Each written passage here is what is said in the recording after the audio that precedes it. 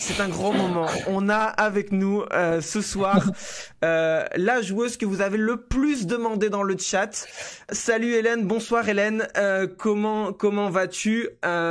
Et nous sommes ravis de t'avoir enfin sur sur notre sur notre stream. Non, je vais bien. Au vu de la physionomie du match, avec une première mi-temps compliquée, une deuxième mi-temps plus intéressante, ça reste un, un bon lundi avec le sourire. Ouais, on va, on va, on va en parler avec Nat parce qu'on a, on a regardé très, très attentivement euh, le replay euh, pour, euh, pour analyser chaque action avec toi et pour voir toutes les fois où, où tu as gagné ou perdu un ballon. du coup, on les a comptés. Ah, c'est gentil ça. Parce que comme tu es, comme tu fais gestion, comptabilité et tout, je me suis dit on va compter. Non, je rigole. on va sortir les tableaux Excel. non, non, mais effectivement, on a regardé le match en, en replay et bon, déjà, c'est vrai que tu m'avais, tu m'avais dit par message, euh, voilà, première période compliquée. Euh, mais qu'est-ce qui a changé pour toi, en fait, entre la première période, donc euh, vous êtes mené 2-0 à la mi-temps, et, et, cette deuxième période où vous allez chercher l'égalisation pour le 3-3 en toute fin de match? La première mi-temps était vraiment compliquée sur tous les, plans. Sur le plan tactique, on était vraiment très bas. on subissait énormément sur les plans, sur le plan mental il n'y avait pas d'agressivité, il n'y avait pas de volonté de récupérer le ballon, on subissait beaucoup. Et même sur le plan technique à la récupération, même si on a eu très peu le ballon, euh, quand on l'a récupéré, on a été vraiment euh, pas bonne dans la première passe ou dans la deuxième, et puis ça allait rarement jusqu'à la troisième passe. Donc euh, à la mi-temps, on s'est dit les choses, le staff, entre nous aussi. On est revenu avec beaucoup, enfin des intentions vraiment différentes. On a mis de l'agressivité, on a remonté le bloc, on a été plus juste techniquement. On a provoqué euh, la réussite aussi parce que notre premier but, euh, c'est pas un but, ne sera pas dans les top buts, mais au final ça rentre. Voilà. Exactement. Notre attaquante qui tourne le dos et qui arrive à marquer quand même. Et puis le penalty, on va le chercher. Et l'égalisation à la 93e, vraiment une belle réaction d'un point de vue mental. Tu parlais de réaction déjà à la, mi à la mi-temps. Et moi, une réaction que j'ai notée aussi, c'est en fait, vous revenez à 2-2 vous prenez ce 3-2 alors que vous dominez, vous avez des occasions. Et je me dis là, ça a été quoi l'état d'esprit quand tu prends le troisième but en toute fin de match? Euh, comment, Là, tu, tu, réagis comment là? Euh, Mentalement, tu prends un coup parce que tu te dis, euh, ça fait 30 minutes, 35 minutes où je suis revenu avec d'autres intentions et je reprends, je prends un but, donc ça veut dire que je me retrouve à, être mené au score. Mais on se rappelle que, que face au LOSC, on a à peu près la même physionomie du match. Sauf que dans un premier temps, on gagne, on gagne un 0 à la mi-temps. Et ensuite, elles reviennent, euh, à nous, elles reviennent à, enfin, elles égalisent, et ensuite elles mènent 2-1. Euh, et euh, on remet le 2-2 et elles remettent le 3-2. Et pareil, il reste 10 minutes et en fait, on, provoque notre destin et, et, on va vraiment chercher ce but et on pousse, on pousse. Et comme tu l'as dit, même à 2-2 contre le Havre, on a eu une, voire deux grosses occasions, voire des face-à-face qu'on n'a pas réussi à marquer. Donc le troisième but fait vraiment du mal, mais malgré tout, derrière, on ne subit pas et on continue de, jouer et de se procurer des occasions. Et justement, j'avais mis euh, en titre euh, du euh, live pour un peu attirer les gens, Dijon spécialiste des remontadas parce que ça fait ça fait deux fois où où vous êtes où vous menez ou après vous êtes mené ou, en tout cas il y a, y a des buts à remonter et on voit que vous avez, on n'a pas l'impression que vous doutez plus que ça et que vous continuez à à mettre en place euh, ce que euh, ce que vous souhaitez faire. Est-ce que est-ce que ça vraiment euh, tu te rends compte sur sur le terrain que même même si vous étiez mené 2-0, tout était possible? Peut-être que le match de Lille aussi vous a fait prendre conscience de ça? Bon, c'est un peu prétentieux de dire ça parce qu'on a quand même que deux points. Donc c'est pas facile. Mais, mais ce qui change cette année, c'est notre mentalité. L'an passé, il nous est arrivé de prendre l'eau. Euh, face à Lyon, face au Havre d'ailleurs, on en avait pris 5 euh, pareil à la même période de mois de novembre. Et là, euh, là on a des filles avec plus de caractère, on a une autre culture de la gagne qui fait que même à 2-0, au final, tu rentres sur le terrain et tu te dis, bah, il reste 45 minutes. On remonte pas souvent de, buts, mais là, on doit le faire en fait. Mais, mais pour, pour relancer, je crois que Nat, tu, tu avais remarqué une action euh, dans le, tu avais remarqué une action dans ce match qui est pas dans le résumé et euh, et, euh, et, que tu voulais absolument montrer montrer ce soir. Bah ouais, c'est important de montrer aussi les actions parce que bah on en parlait là pendant que ça a craché, on en parlait rapidement avec Hélène et voilà, là c'est une action qui part de la gardienne Et en fait, elle va aller jusqu'au bout. Et je trouve votre action. Moi, j'ai envie que tu me la commentes et que tu me l'expliques cette action. tu peux la remettre du début ou pas? Ouais, bien sûr. Donc, du coup, là, Alice, elle a la balle dans les mains. Euh, Morgane est mal orientée, donc elle rejoue avec Alice. Alice, au lieu de dégager, elle veut jouer à la baballe. elle relance à Morgane qui me la remet. Et là, on a du temps, on a de l'espace. On aime les jeux courts, donc on combine avec Sarah au milieu. Je la remets à Océane qui remet à Morgane. Et là, on joue du début à la fin, en fait, on joue à une touche, de touche. Et ça nous amène une vraie situation. Alors, si je dis pas de bêtises, c'est un centre. Euh, ouais. Ça ne joue à rien, ça joue à rien, mais c'est une belle action. On fait pas mal de jeux dans les petits espaces et tout. Donc, euh, on a eu vidéo tout à l'heure, notamment, et ils nous l'ont montré. Euh, c'était une très belle action que l'on a faite ce week-end. toi, en tant que défenseur central, tu vois l'action continuer. tu vois l'action, le, le, ballon qui continue son chemin. Donc ouais, je pense que ça a créé une certaine excitation. Une... C'est, en vrai, c'est, dommage que ce soit mal filmé parce que moi, je suis dans le rond central et euh, dans les actions, je suis comme une dingue. Déjà, moi, je vis les, matchs à 100%. Honnêtement, euh, jouer à côté de moi, c'est, une angoisse parce que je commande tout, tu vois. Et donc, sur cette action, euh, j'ai envie que ça aille au bout, bien sûr, comme les autres. Mais d'autant plus que celle-là était vraiment... on partait de loin, elle était vraiment construite, elle était vraiment belle en soi. Et, donc, du coup, si ça allait au bout, je, ne sais pas ce que j'aurais fait. De toute façon, je cours sur tous les buts. Mais, mais c'était vraiment une action construite de très bien, de presque de A à Z, même s'il manque le Z, puisque ça va pas au bout. Bah, c'est ça en fait, c'est que du coup, là, on t'en parlait un peu tout à l'heure, vous avez au final que deux points. Mais du coup, quand tu vois des séquences de jeu comme ça qui se créent, ça, ça doit, ça doit aider un peu en se disant on peut aller chercher quelque chose cette saison encore. Oui, ce sont des, séquences euh, avec des circuits préférentiels bien identifiés qu'on travaille beaucoup à l'entraînement et qu'on essaye de répéter euh, en match. On l'a fait sur quasiment tous les matchs, hormis, euh, hormis contre, Montpellier. Au premier match, on n'était vraiment pas bonne. On leur a clairement laissé l'opportunité de prendre les trois points sans réellement se battre. Et le PFC qui était vraiment très fort. Mais que ce soit contre, contre Reims, contre le LOS, contre Fleury et, et ce week-end contre le Havre, on a eu vraiment des, belles séquences de jeu où on s'est procuré des occasions. Après, c'est vrai que devant le but, enfin dans les deux surfaces, on, manque encore de, green tag, que ce soit défensivement ou offensivement. On loupe des occasions. Euh, sur le plan défensif, parfois on fait des erreurs qui nous coûtent cher. Donc euh, il faut qu'on arrive à régler ça. Pour l'instant, on n'a que deux points, c'est vraiment pas beaucoup. Mais je pense que on produit quelque chose qui fait que sur les prochains matchs, on reçoit PSG et on va à Lyon, mais sur les trois derniers matchs euh, contre des concurrents directs, il faudra vraiment faire de, enfin, reproduire les mêmes choses, les mêmes mécanismes, pour, et je pense qu'on pourrait, on pourra avoir des points. Mais du coup, tu, euh, tu, euh, tu nous disais, euh, j'ai réactivé mon, mon micro euh, parce que pour vous éviter d'entendre les bruits quand je bois. Euh, tu, tu, tu, disais que tu vivais les matchs avec beaucoup d'émotions. là, 2-3-3 avec autant de buts, ça va le cœur, ça va la, la, les émotions? Bah, la vérité, c'est qu'on aimerait gagner 1-0, mais parfois c'est pas possible. Et quand on se prend des buts, il faut revenir. Après moi, j'adore le football et vivre un 3-3 en termes d'émotion, c'est assez exceptionnel, surtout quand, quand au final ça se finit bien.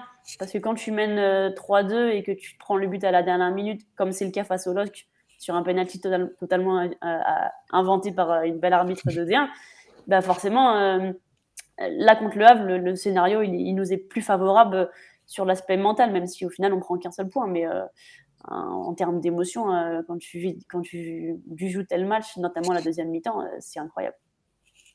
Commente-nous ces buts. de le commenter.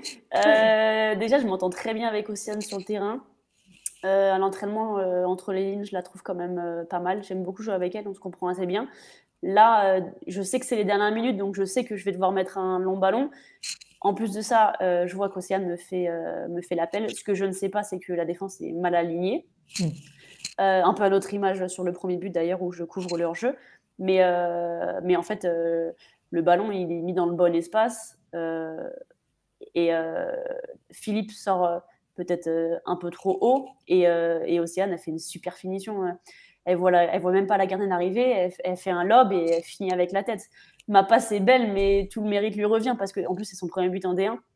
Donc vraiment incroyable à la 93e, tu pouvais pas rêver un meilleur scénario.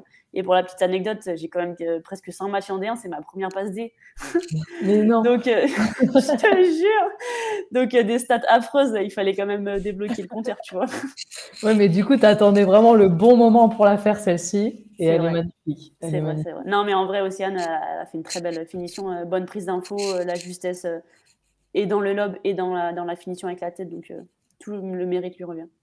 On n'a pas eu le temps de voir sur l'image, mais du coup, je suppose que tu as traversé le terrain pour euh, aller célébrer. C'est exact. Et ce qui est dommage, c'est que c'est pas très bien filmé. Euh.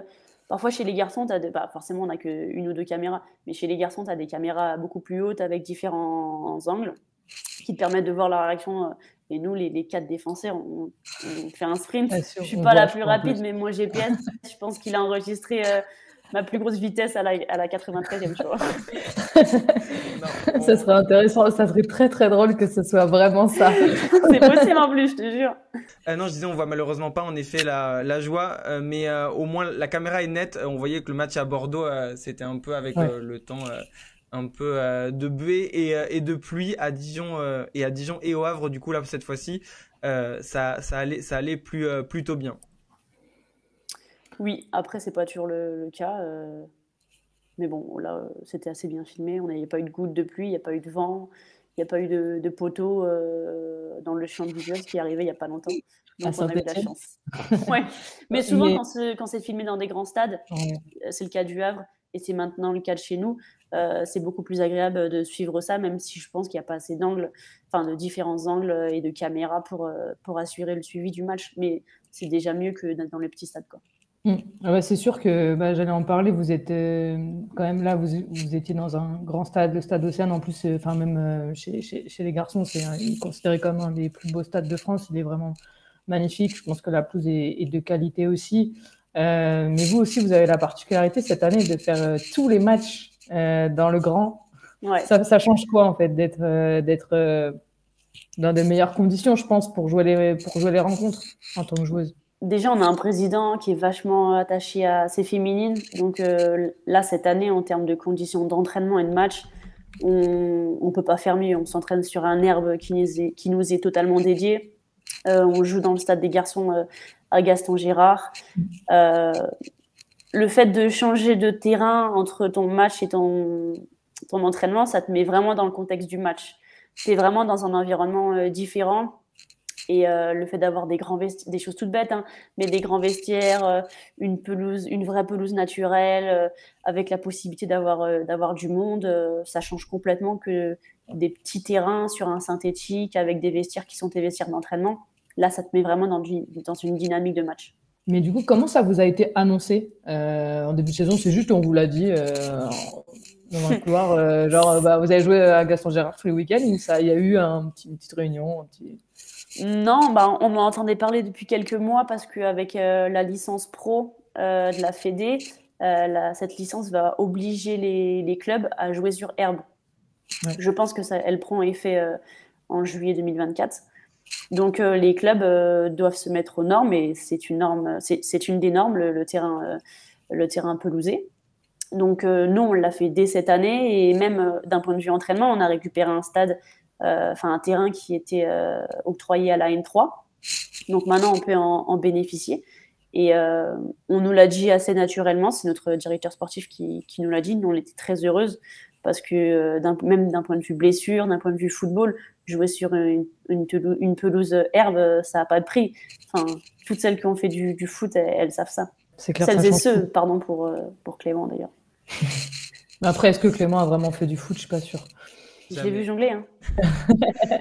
j'ai essayé lors de la séance adaptée où on était venu euh, vous voir, mais euh, non, j'y arrivais pas. Même, euh, même, avec du football adapté, je j'arrivais pas. les ballons étaient trop gros, c'était trop compliqué, trop compliqué pour moi. Je préfère être de l'autre côté de, de l'autre côté au bord de Toulouse, c'est mieux. Ça marche. bon, Hélène, on a on a vendu qu'on avait une star euh, en tout cas, tout le monde nous a dit on veut connaître Hélène. Qui est Hélène? Certains nous ont dit. Alors j'ai l'impression que tout le monde te connaît, mais quand même, il y en a certains qui se demandent qui est Hélène, quand même, faire coq. Donc, euh, pour revenir un petit peu, donc tu viens de région parisienne. Euh, tu as joué, tu es passé par Saint-Maur, tu es passé par Reims, tu es passé par plusieurs clubs. Est-ce que tu peux revenir un petit peu, alors c'est très vague comme, comme question, mais un peu sur tes débuts euh, Moi, j'aime bien poser cette question, c'est qu'il y a toujours euh, cette question sur est-ce que c'est bien vu de faire du foot quand on a commencé à faire du foot? À l'époque où tu as commencé à, te mettre au foot, est-ce que c'était bien vu? Est-ce que, est-ce que ça a été compliqué pour toi de t'inscrire dans un club? Honnêtement, euh, donc je viens de la région parisienne. J'ai joué dans un petit club dans le 94. Euh, j'ai jamais eu de problème euh, d'acceptation ou autre. Mes parents n'étaient pas forcément pour.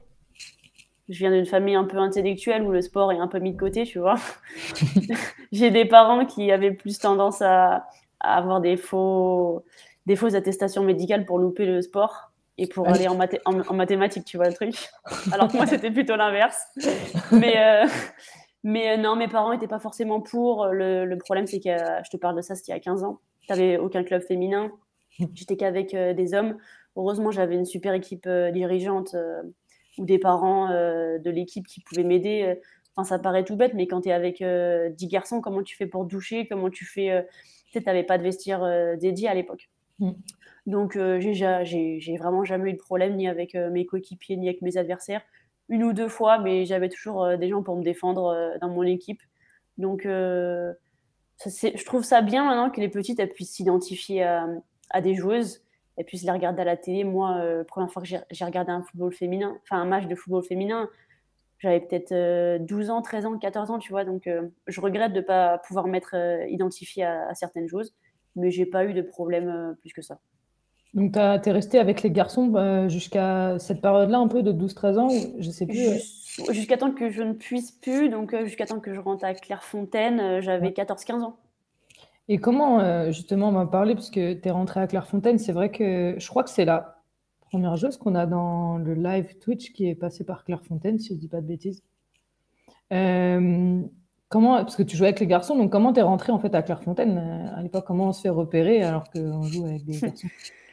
Honnêtement, j'ai toujours eu de la chance jusqu'à présent. Je, donc, euh, dans, mon, dans mon entourage, personne ne connaissait le football féminin, mais le président de mon club, qui est malheureusement décédé, euh, euh, qui est malheureusement décédé l'année dernière, était fan de football féminin. Donc, il m'a très vite parlé du district, de, de, de, des, détections donc régionales, départementales, régionales et nationales. Et donc, il m'a inscrite dans mon district du Val-de-Marne. Ensuite, euh, les meilleurs allaient euh, dans la région Île-de-France et les meilleurs allaient d'un point de vue national. J'ai fait euh, deux ans de sélection à peu près. On s'est retrouvé à 70 joueuses, les meilleures de notre génération. Moi, j'étais la plus drôle, donc j'ai été prise, tu connais. Ça dans une coupe... meilleures. exact. Dans une coupe nationale à Vichy. Maintenant, elle se déroule à Clairefontaine, si je ne dis pas de bêtises. Et donc là, il y a tous les recruteurs de pôle, donc des sept pôles. Et euh, ils recrutent, ils recrutent 6-7 filles au pôle France et le reste sont dispatchés dans les, euh, dans les pôles euh, régionaux. Tu en gardes une belle expérience de, de, tout ça Incroyable. En plus, j'ai eu la chance. Est-ce que tu te souviens des blagues que tu faisais à l'époque? Elle fait toujours les mêmes. T'as un, un, dossier sur moi? Non, non. non. En vrai, ce qui est exceptionnel, c'est que moi, j'ai eu la chance de, de connaître et Fontaine et l'INSEP parce que le pôle France a déménagé entre temps, parce qu'il y a eu l'euro euh, en 2016 en France. Donc, on a été, euh, on a été envoyé à l'INSEP. Et j'ai connu l'environnement pur foot. En fait, le, matin, je partais à l'école, je passais devant le château tous les jours. Des choses toutes bêtes, mais quand tu es footballeur ou football, c'est incroyable. D'autres exemples, je sortais de l'entraînement, à côté, tu avais Benzema, Ribéry, qui venaient de finir leur entraînement euh, avec l'équipe de France A, tu vois. Ils nous passaient des crampons, ils nous passaient des t-shirts. Pour nous, c'était un truc de fou. Et après, j'ai switché à l'INSEP et j'étais avec les champions olympiques. Je mangeais, j'avais Teddy Riner, euh, j'avais Tony Yoka. Enfin, ça paraît tout bête, mais quand tu es, quand une adolescente et que tu adores le football et le sport, avoir connu ces deux environnements, c'est absolument incroyable. Et justement, bah, c'est intéressant parce que tu as fait la différence dans, dans un environnement à Clairefontaine où c'était très foot tu es arrivé à l'INSEP et tu as découvert euh, des sportifs qui pratiquent pas du tout le football, d'autres sports différents. Est-ce que tu as pu un petit peu côtoyer, euh, alors euh, pas forcément les sportifs de haut niveau, mais voilà, des, athlètes aussi qui faisaient les autres sports et discuter un petit peu avec eux, comparer comment vous perceviez le sport en règle générale Ça m'a ouvert beaucoup les yeux. Déjà, déjà pardon, ça m'a fait m'intéresser à, d'autres sports Parce qu'avant, pour moi, il y avait que le football. Maintenant, euh, dans ma classe, par exemple, j'avais un, un, mec qui a gagné Roland Garros junior. J'avais Alexia Chartereau maintenant qui joue, euh, qui joue à Lasvel, qui euh, qui est vice-capitaine de l'équipe de France de basket. Euh, j'avais des filles qui faisaient du patinage artistique, du taekwondo. Donc, tu t'ouvres énormément, en fait. Et en fait, tu te, rends, tu te rends surtout compte de la chance que tu as de faire ce sport très populaire avec énormément de moyens, même au niveau amateur parce que tu te rends compte que à côté de toi, tu as un mec qui est champion de, du monde de tennis de table, qui, qui survit avec ses subventions euh, départementales, ou, départementales ou régionales, et que toi, tu as 17-18 ans et limite, tu gagnes plus d'argent qu'un qu'un mec euh, qui a 30 ans et qui s'entraîne deux fois plus que toi en faisant du tennis de table, parce que c'est un sport euh, peu médiatisé. Donc ça m'a vraiment ouvert l'esprit et ça m'a permis de me rendre compte la chance que j'avais d'être dans un sport comme le football. Quoi. Il y a Mélanie qui nous dit et Teddy Riner avait Hélène Farcock devant lui. Euh... Merci Mélanie en tout cas. Non mais la question Mélanie c'est est-ce qu'il s'en souvient? Et Tu sais que j'ai cassé l'overboard de la fille de Teddy Riner. Teddy Riner, il avait une fille non, Cette vidéo il y a qu'un mois. Il y a qu'un mois. Et, il m'a regardé et je me suis dit mais s'il me chope, qu'est-ce que qu'est-ce que je fais? Qu'est-ce que je fais? Bah, tu rigoles, tu lui fais une blague, il va rigoler et t'auras gagné. non, il nous connaissait les footeuses, on était bonne ambiance. Donc, tu lui proposes un concours de jongle? Ouais, je peux, mais bon, ouais. mais il était pas, il était pas si mauvais. Hein. mais juste, c'est intéressant, tu dis nous connaissait les footeuses. C'est vrai que moi, je suis passée aussi par un centre euh, euh, pour sportifs de haut niveau au Mans, et en fait, euh, je dormais. Alors, j'étais vraiment en section sportive au Mans, mais on, je dormais avec d'autres sportifs J'étais dans le même euh, couloir que euh, les judokas. Euh, il y avait des gens qui faisaient de la Formule 3. Enfin, il y avait plein de jeunes de plein de sports, des basketteurs et tout. Et c'est vrai que dans les, chaque sport, on était ouais, mais les judokas ils sont comme ça, les footeux ils sont comme ça, les basketteurs ils sont comme ça. Ouais, t'as connu aussi cet environnement-là? Quelle était la réputation chez toi des footeuses? On veut savoir. non, les footeuses, on est bonne ambiance, assez dissipée à l'école. la même. Et on est ultra compétitrice. Après, tous les sportifs à l'INSEP le sont, mais nous, on a ce côté euh, à être parfois mauvais, tu vois, à parler avec l'arbitrage et tout, alors que dans les autres sports, ça n'arrive jamais. Il n'y a que nous qui pouvons. Euh, tu, vois, tu vois ce que je veux dire? C'est sûr qu'en passage, tu vas pas t'arrêter pour dire euh, par contre, je suis pas d'accord. non, mais même quand tu vois, il y a eu la Coupe du Monde de rugby, il n'y en a pas un qui bronche, alors que les mecs, ils se font voler, tu vois. Nous, nous ça ne pourrait pas arriver chaque week-end, même en D1, en Ligue 1, peu importe. Donc, mais je pense que demande à, quelqu'un à l'INSEP comment sont les footeuses, ils vont te dire bonne ambiance. Parce que vraiment, nous, c'était euh, fou rire euh, tous les jours. Est-ce que tu es, resté proche de certaines euh, filles que as, que as, qui étaient avec toi au pôle à ce moment-là? Proche, une Alexia Chartereau en, équipe de France de basket, avec qui je parle toujours. Sinon, on, tu vois, on répond aux stories Instagram. Ou Mathilde Gros, qui fait de la, du, du cyclisme sur piste, tu sais qui a fait les JO et tout, très connu. Mais euh, on répond aux stories, etc. Mais pas plus, non. Et dans les footeuses de, ton, de, ta génération au pôle, il y a, y a, des joueuses euh, actuellement en D1 aussi euh... ouais, C'est une question qu'ils nous ont posée dans le chat. Est-ce qu'il est qu'il y avait des gens avec toi euh, qui étaient à Clairefontaine qui, qui ont suivi le, un parcours similaire, par exemple en D1 ou bah, Ma génération, elle est exceptionnelle. Hein. Ma génération à Claire, c'est Katoto, c'est ah, Almeida, c'est Chavas. Euh, enfin, j'avais vraiment une génération euh, incroyable. Euh, en, en, dessous, au-dessous de mes générations, c'est tout ce qui est Leron, Lacrar, j'ai Elisor, enfin, j'ai vraiment. En D1, les, trois générations avec qui j'ai joué et que j'ai côtoyé, il y a vraiment des gros noms. Et qui est la plus drôle? La plus drôle? Ton binôme. Ah, c'est Elisa de Almeida, je pense. Ah oui Incroyable. incroyable. Pour la petite anecdote, on était ensemble en seconde donc euh, à Rambouillet à, l'INF. Et quand on a switché à l'INSEP, ils ont vu nos dossiers et ils ont dit, mais en fait, euh, vous pouvez pas être dans la même classe. Donc je me suis, elle, elle voulait faire ES. Moi, à cette époque-là, scolairement, j'étais un peu perdue. Je vais pas te mentir. Bon, j'ai retrouvé le, je suis repartie sur le droit chemin depuis. Et donc j'ai été obligée de faire autre chose. En maths, j'étais pas extrêmement bonne, donc j'ai terminé en STMG. Donc ils, nous ont séparés tellement on faisait n'importe quoi, t'imagines? Ah oui, quand même. C'est te dire. D'ailleurs, ça, demande, Mélanie demande si euh, tu as prévu des blagues sur le terrain euh, dimanche euh, pour Elisa. Non, non, non, non. non, on se voit un peu avant le match ou après, mais sur le terrain, Une fois, quand je jouais à Montpellier, on s'est pris mutuellement au marquage et on a eu du mal à garder notre cerveau. Donc maintenant, je reste, le, plus éloigné d'elle, c'est mieux. C'est d'ailleurs pour ça qu'avant, tu jouais milieu de terrain et on t'a replacé en défense pour pas que tu la croises sur le terrain. Exact, il fallait que je sois le plus, le plus loin d'elle possible. Attention, dans, dans, cinq jours, on la voit avec les, les gants, gardienne. c'est vrai. Euh, on a quand Hélène en bleu? Tu as touché les bleus? Tu as déjà porté le maillot. Ouais, chez les jeunes, j'ai touché, mais après chez les A, c'est un autre niveau. Donc, euh, je suis assez lucide sur mes, mes qualités et mes capacités. Donc, euh, mais, ça, ça, ça, reste un souvenir incroyable. Enfin, c'est bête comme question, mais euh, à chaque fois, chacun a son propre souvenir et, et, les émotions, je pense, sont différentes suivant les jeux. Toi, c'est quoi le souvenir le plus marquant que, que, que tu as eu J'ai eu la chance de jouer une Coupe du Monde U20 en France. Euh, en Bretagne. Une partie de ma, ma famille est bretonne. Euh, euh Nathalie. C'est pas voulu, hein C'est pas de ma faute si on a toujours un coin breton à chaque fois. je dis la Bretagne. Coq, c'est breton, tu connais. Et euh, donc, c'était vraiment incroyable. C'était la première fois que je jouais dans un stade rempli, je sais pas, 8 ou 9 000 personnes. match d'ouverture devant toute ma famille, devant tous mes amis je pense que football compris, c'était ma, ma, plus belle émotion. Euh. et puis même l'équipe de France, le maillot, l'hymne. En fait, ce qui est dommage, c'est que quand tu y es, tu te rends pas compte que tu y es. C'est que je, trouve que tu profites pas assez. Avec le recul, même il y, a, il, y a, il, y a, un an et demi encore, j'étais en U23. Bah là, j'ai plus de U23, j'ai plus rien, j'ai que les A. Et je me dis, euh, ah, c'est loin, tu vois. Et tu n'as pas assez profité des, des moments. Et je trouve que c'est dommage, mais émotionnellement, les photos, les vidéos, les souvenirs que j'ai, ils sont incroyables. Et là, quand tu regardes les bleus, as encore, euh, ça te rappelle des souvenirs ou pas? Bah, c'est autre chose.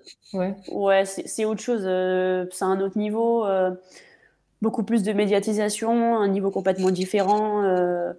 je peux pas m'identifier à ça parce que c'est hors norme par rapport à ce que j'ai vécu. Par contre, quand je vois les petites bleuettes en compétition, U17, U19, U20, même U23, bah, ça me rappelle quelques années en arrière et ça me fait plaisir, tu vois. Et est-ce que toi, tu as, tu as déjà eu le cas où on a tracé les lignes du terrain euh, avant un match de l'équipe de France? Eh, C'est incroyable, c'est incroyable. Mais tu dois avoir des, des, situations, euh, non, enfin des, ouais, des anecdotes un peu genre où tu te dis non mais entre guillemets, on est où, euh, quoi? Parce que je pense qu'elles ont dû se dire ça là, les, les, petites bleuettes. Mais en plus, ce qui est fou, c'est que c'était en France, non? Oui, oui, c'était à, ouais, Montmorency, dans, le, dans la région parisienne. Incroyable, incroyable. J'ai pas d'anecdote un peu loufoque comme, comme ça à te sortir. Mais, euh, mais ouais, ouais, ouais. En vrai, en vrai c'est incroyable. Ce qu'elles ont vécu, c'est fou. C'est vrai que les Néerlandaises euh, regardaient, euh, regardaient l'arbitre et, euh, et les, euh, et les jardiniers, je pense, d'un œil très suspect en voyant le traçage des lignes en même temps qu'elles qu'elle s'échauffaient. Bon, elles pouvaient, elles pouvaient slalomer entre eux. Peut-être que ça, ça fait un exercice en plus. Mais... vous aussi, vous aviez dû halluciner parce que vous étiez sur place à l'époque. Ouais, ouais, ben on, est, on était sur place et ils ont changé de terrain, tout ça. Enfin, oui, en fait, on suivait euh, le, moule, mais c'est vrai qu'on suivait en même temps que les joueuses. Donc, on se disait, bon. Et même, tu décales ton échauffement, tu décales tout. Euh, enfin, pour les joueuses, c'est pas, pas, pas top, quoi. Et euh, tu, tu, parlais un peu euh, tout à l'heure euh, de t'identifier à une joueuse. D'ailleurs, on demande si tu avais un modèle féminin. tu pourras peut-être y, répondre. Mais est-ce que, c'est une question que je pose tout le temps maintenant, est-ce qu'on peut acheter les maillots de l'équipe féminine à Dijon avec, le avec, avec votre flocage? Non.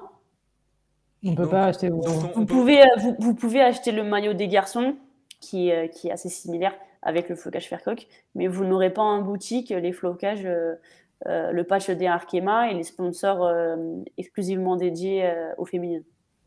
Donc pour les seuls maillots que tu peux donner pour la famille, c'est tes maillots, tes maillots à toi, quoi. Je m'entends bien avec l'intendant. si tu veux un maillot, je peux te le floquer et je peux mettre.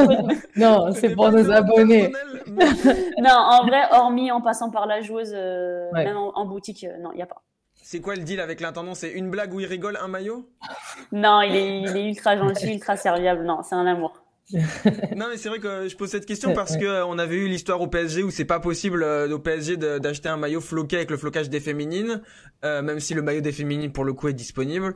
Euh, et on a fait un peu, le, on fait un peu le tour de, des jeux qu'on reçoit à chaque fois. Et par exemple au Havre c'est possible, à Guingamp c'est pas possible. Donc c'est vrai que quand, quand, on parle de modèle, bah c'est peut-être aussi par ces biais-là d'avoir le maillot d'une joueuse qui joue en D1 qui pourrait, qui pourrait, qui pourrait être utile. du coup t'avais un, t'avais un modèle toi avant que, avant que tu deviennes euh, avant que tu deviennes pro et que tu, que tu joues en D1 euh, Quand j'étais vraiment petite, j'aimais beaucoup l'élégance de, de Nessip sur un terrain. Et quand j'ai commencé à m'intéresser au football féminin en grandissant, j'étais milieu, donc j'adorais euh, Soubéran à l'époque, qui, qui a été ensuite ma sélectionneur en équipe de France. C'est ce que j'allais dire, ouais. Ouais, ça fait quoi du coup quand tu l'admires et que d'un coup tu te dis bon, il va falloir que je l'écoute quand tu passes de l'admirer à qu'elle te mette un coup de pression parce que ton gelon il est pas bon, alors qu'elle elle, elle, réussissait 100% de ses gelons. non, c'était c'était top. Elle nous a beaucoup appris euh, euh, sur tous les plans, euh, même sur le plan scolaire, elle était vachement avec nous, alors que parfois on partait le, le bout de l'Europe et qu'on nous payait des cours, elle nous forçait à travailler et tout. Donc elle a été top et encore une fois, j'ai pas profité alors que c'était pas mon idole, tu vois, parce que mon idole c'était plus des joueurs masculins, mais c'était une chose que j'admirais beaucoup. Je l'avais en face de moi et pourtant elle était toujours bonne avec le ballon. Elle avait, toujours cette petite Adidas au pied, mais, euh, mais, mais, je pense que j'en ai pas j'en ai pas profité sur le moment, tu vois, en termes de, souvenirs. En tout cas, on voit que le gelon ça a payé. Ouais. Sur le but, sur le but euh, de, samedi, oui, mais. Les coups de pression fonctionnent avec euh, Sandrine Soubéran, apparemment. Il faudra qu'on ait une chose du PFC pour confirmer si c'est toujours aussi. Elle en met toujours, elle en met toujours. J'ai des échos, j'ai des échos. Ah. j'ai des échos, t'inquiète. Tu es en train de dire que là, elles ont subi des coups de pression après le, match d'hier Non. Non, non, bah, non, non, En vrai, elles, se sont découvertes parce que c'est leur jeu. Elles ne voulaient pas défendre à 11 mais elles ont fait quand même des belles phases de jeu.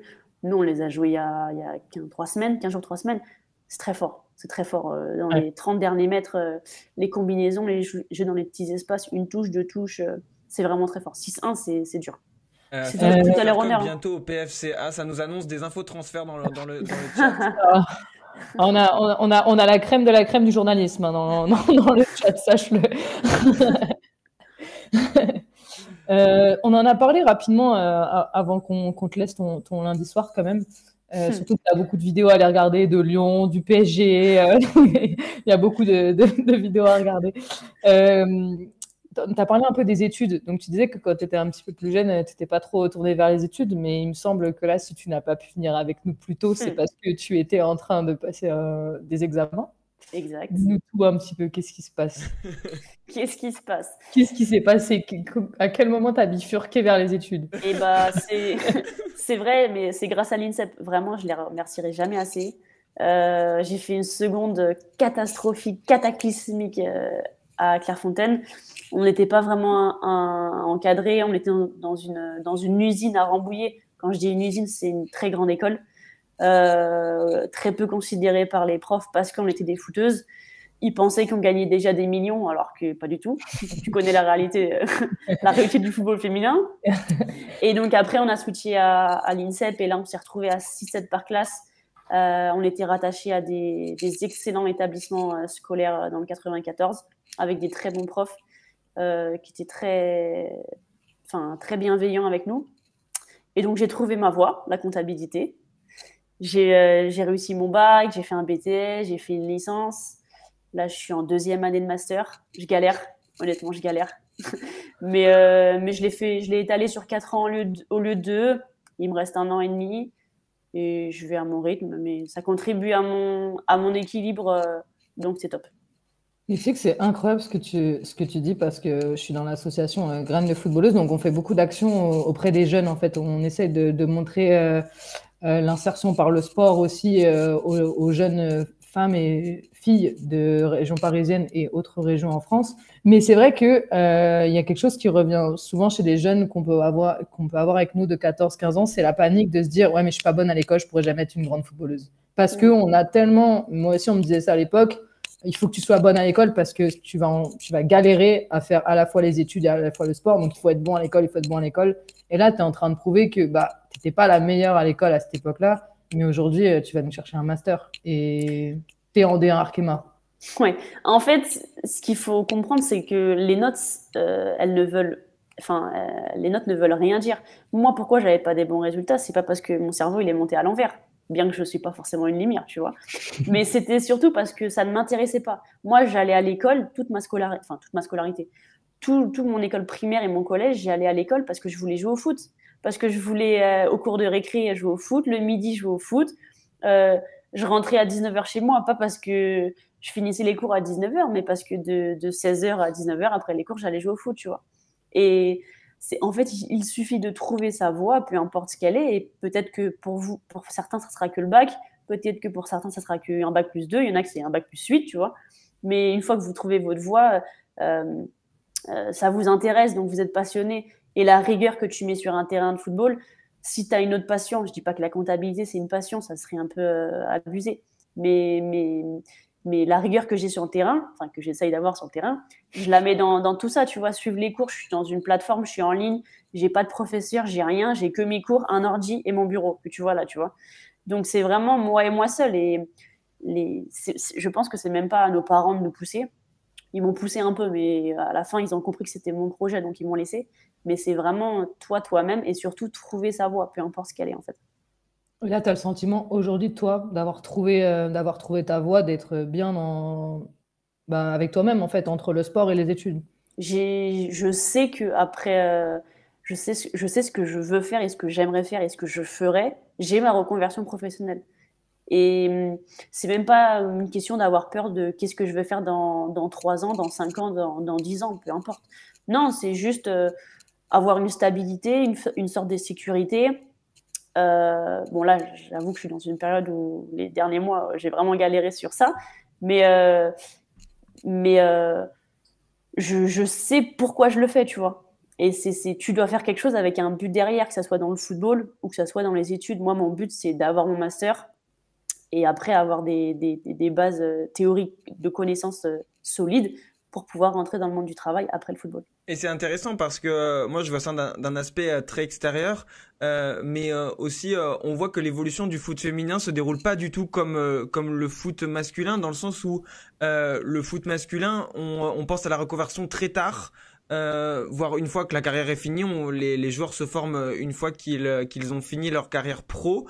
Euh, et on entend euh, en foot féminin beaucoup de, de joueuses qui pensent d'abord à leur reconversion et après euh, peut-être à, leur carrière. Et euh, avec Nathalie, on, a, on en a beaucoup parlé sur ce stream euh, parce qu'on avait eu Sophie Weiss du PFC, la dernière qui est maintenant à Rodez, qui, qui nous disait que bah, elle, quand elle avait commencé le foot, c'était pas forcément quelque chose d'en vivre. En fait, c'est toujours compliqué de vivre du foot féminin.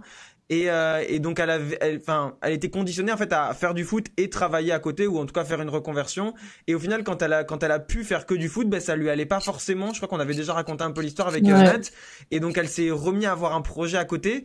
Et, euh, et c'est vrai que sur cet aspect-là, le, le, foot féminin, je pense, va continuer à, à se démarquer parce que euh, il y, a, y, a, beaucoup de joueuses et euh, tu, tu nous l'expliques très bien qui, qui ont besoin d'avoir quelque chose à côté, d'avoir peut-être des projets à plus long terme qu'une carrière. On sait qu'une carrière de, sportif ou sportif, c'est limité dans le temps.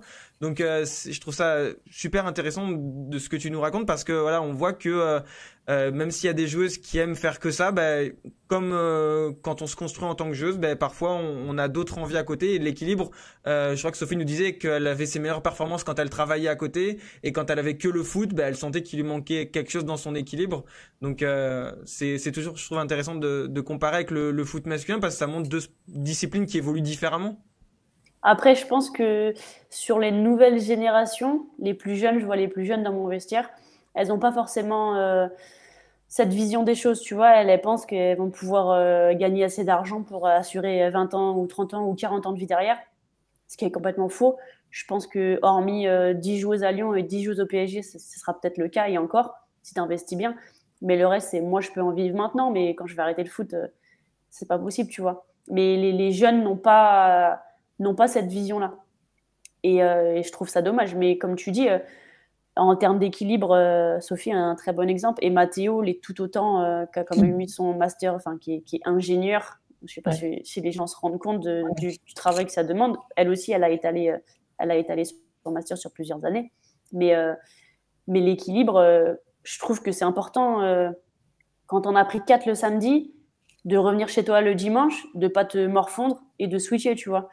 Moi, je sais que le, dimanche, je suis toute la journée devant, mon, devant mes cours. Bah, je vais, même si j'ai été nulle, même si on a perdu, au final, je vais très peu penser à ça parce que j'ai les cours. Et quand j'ai moins de cours, bah, je vais avoir plus tendance à me morfondre, à avoir des idées euh, un peu plus noires, euh, tu vois, négatives. Et, ça te met dans le, le, côté scolaire, je pense, te met dans une bulle et te protège de tout ça.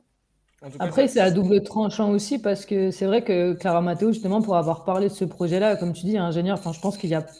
On en parle beaucoup parce que c'est une chose intelligente aussi sur le terrain, mais c'est vrai que je pense que peu de personnes se rendent compte de ce que c'est euh, de, performer à si haut niveau, d'être en équipe de France, tout ça, tout en ayant fait ses études aussi à, si haut niveau. Mais c'est vrai qu'elle, ça l'a fatiguée. Elle a eu une saison au PFC, c'était il y a deux, deux saisons à peu près, qui a été difficile. Et quand elle est sortie de la saison, elle a dit Je suis épuisée parce que c'était l'année de ses examens et tout. Est-ce que toi, tu as eu des moments, Dijon est une équipe en plus qui joue le maintien, donc il y a des saisons compliquées sportivement. Est-ce que là, tu as eu des saisons un petit peu où tu dis là, je, suis fatiguée quoi? Là, j'ai de la chance, mon master, mes examens sont en octobre-novembre. Donc euh, j'ai eu une épreuve il y a 10 jours, là j'en ai une autre dans une semaine. Je, t'avoue que mon épreuve il y a 10 jours, elle s'est pas ultra, ultra bien passée. J'ai eu un coup de blues, mais le foot, de par les entraînements, m'a aidé à sortir de ça. Et la chance que j'ai, c'est que au moment, dans les mois cruciaux, euh, avril, mai, juin, euh, je, mais j'ai pas d'examen dans mon master. Par contre, j'en avais en licence quand j'étais à Metz. Et Dieu sait qu'à Metz, on a eu des années galères. Euh, on a eu une descente. On a eu ma première année à Metz en, en 2018-2019. On se maintient la dernière, dernière journée grâce à une défaite du LOSC face à Montpellier et j'avais mes épreuves euh, dix jours après. Et en fait, c'est très dur. Les gens ne se rendent pas compte. Euh, moi, j'adore ce que je fais, tu vois, mais euh, parfois, ça peut être un poids. Mais il faut vraiment aimer pour, pour passer outre, tu vois.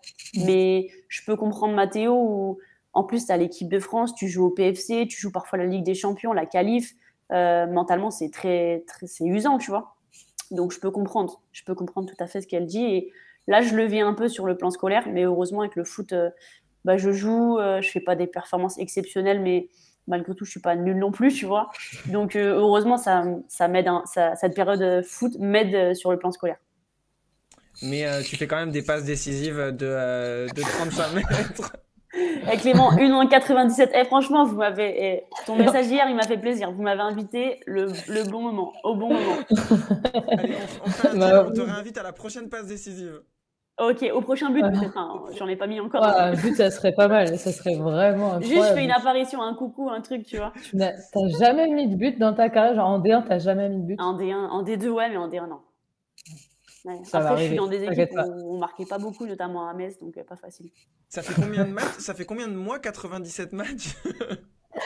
Ça fait, ça fait 5 ans, hein. ça fait 4 ans, 4 ans, un peu plus de 4 ans. C'est ma cinquième bah, année en bien. Dans, dans, 4 ans, euh, 2000, 2027, on... Non, moi je parie, je parie que tu vas mettre un but cette saison.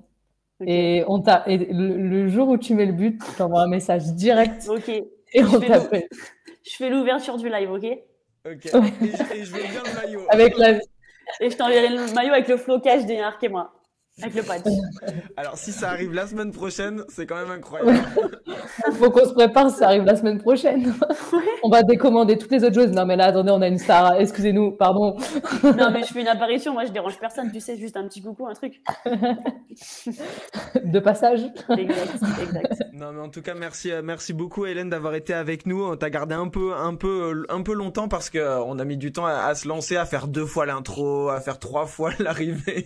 On t'a gardé un peu longtemps, mais euh, euh, vraiment merci beaucoup euh, d'avoir aussi évoqué ton ton projet ton projet à côté du football parce que je pense que c'est aussi intéressant de se rendre compte de la vie d'une joueuse pro en D1 on voit les résumés, on voit les images, on voit les photos, mais, mais voilà, il y a, y a, le foot, il y a ce qui se passe sur le terrain, mais tout ce qui est autour, je pense que ça explique aussi parfois les performances, parfois les, les saisons. Donc merci, merci d'avoir d'avoir été là. je crois que le chat était ravi. Je veux bien continuer. Je, veux bien une autre Hélène à chaque émission. Moi, Hélène, juste je sais qu'on t'a gardé longtemps, mais j'ai question parce que en vrai, ce qu'il y a Inod qui, qui était quand même la personne qui, qui, t'a demandé. J'ai vu, ça. Et, il t'a demandé, il, a posé une question et euh, j'ai pas du tout la, référence, donc je vais, je vais la lire. Je sais pas si tu l'as vu. C'est, euh, peux-tu nous parler du euh, football écologie France à propos de l'association en elle-même et les agissements que tu as à côté de l'association. je n'ai pas du tout la référence. Donc, je pense que toi, tu sais de quoi il parle. Oui, je vois très bien. C'est une asso donc d'écologie sur la sensibilisation des jeunes et des clubs amateurs ou pros. Donc, je suis ambassadrice de cette association avec euh, trois, quatre autres joueurs et joueuses, notamment euh, Constance Picot au PSG et deux, trois joueurs en Ligue 2 et en National et en N1, ouais. Euh, donc, en fait, on fait des actions avec beaucoup de jeunes ou dans des tournois. on tient des stands, on fait de la sensibilisation. Le fait qu'il y ait des joueurs et des joueuses pro, bah, ça attire un peu plus les gens dans le stand. Mm. Et puis, voilà, moi, j'ai un frère qui est sans doute devant ce, devant ce live qui est ingénieur dans les énergies renouvelables. Donc, euh, la cause environnementale, euh, j'en entends parler depuis euh, plusieurs années. Donc, il m'a bien sensibilisé, sensibilisé pardon. Donc, c'est moi qui sensibilise les autres à mon tour. Ok, donc comment tu t'es retrouvé là-dedans? C'est un ancien Rémois. Quand j'étais au stade de Reims, il y avait un joueur de Ligue 1, qui, enfin, de la réserve, qui a lancé cette association. Il m'a contacté pour être ambassadrice pour faire un peu de promotion sur les réseaux, lancer son asso. Maintenant, c'est une grosse asso, ils ont un chiffre d'affaires, ils ont des employés et tout, donc c'est un peu plus qu'une asso quand même. Et, euh, et donc, euh, vu que j'adore les enfants, j'adore le contact, euh, je suis passionnée par tout ce qui est relationnel, tu vois. C'est pour ça que je suis avec vous ce soir. donc, donc j'adore, j'adore sensibiliser les autres, apprendre, échanger. Donc, je fais deux, trois sessions par an avec des jeunes ou moins jeunes. Euh, et, donc, j'adore ça. Ok, ben voilà, bah j'ai appris quelque chose. Merci Nodrati pour, la question? Non, mais c'est vrai, je n'avais pas du tout la référence, je l'ai vu passer tout à l'heure et oublié de la. On a des gens bien informés. On en a d'autres un peu moins sur les transferts au PFC, à moins que. des fake news. c'est ça. On a des lanceurs d'alerte. mais, on, a, on, a, des gens, euh, on a des gens bien informés. Ben, merci encore une fois, Hélène, d'avoir été avec nous euh, ce soir. Euh, on s'était déjà croisé quand on avait été à Dijon avec Nathalie pour faire le, le football adapté et l'initiative de Morgane. Euh, qui n'est pas toute seule d'ailleurs dans, dans, ce, dans ce projet, euh, mais voilà, elles avaient gagné, euh, elles avaient gagné le, trophée, ouais. avec Léna, elles avaient gagné le trophée coup de cœur de, de l'AD1. D'ailleurs, vous pouvez regarder hein, sur les réseaux, on avait fait un, petit reportage là-bas. on avait pu te croiser aussi avec avec les enfants, à donner quelques conseils footballistiques. À faire des bêtises surtout. à faire des bêtises, soyons honnêtes. D'ailleurs, elle, continue hein, deux fois par semaine à, à, à, recevoir des enfants en situation de handicap euh, motrice et mentale.